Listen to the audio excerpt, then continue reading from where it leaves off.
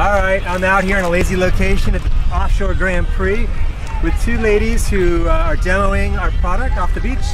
What do you think, ladies? It's great. Comfortable, relaxing, easy to drink in the water. Perfect.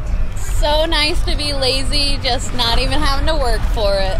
Gotta love it. And we have our drinks, and that's what matters. All right, enjoy. Enjoy the lazy lifestyle. lazy!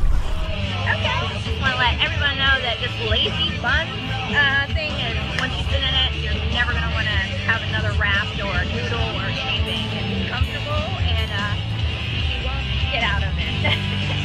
it is awesome. Like a recliner. Yeah. What do you think of the buns? Perfect. Perfect. Just the right size. Doesn't take up a whole lot of room in my boat. And I'm gonna buy a couple more. You got the blue one, right? Yes, sir.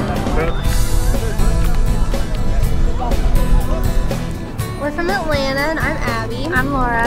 Awesome. So what do you think?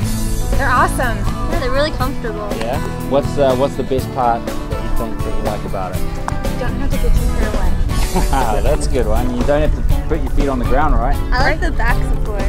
Nice. Lean back. So do you guys like it knowing that it's made in America and not China? Yes. Yes. The USA. USA. And then obviously we want to get your team on there, right? Yes. Yes. Where Eagle. Go dogs. It's been a good year. Look at this. Do like a That's snorkel. it right there. Perfect. There you go.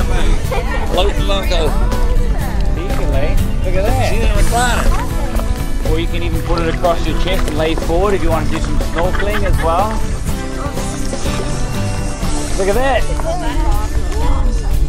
Got it. Not many people can do that.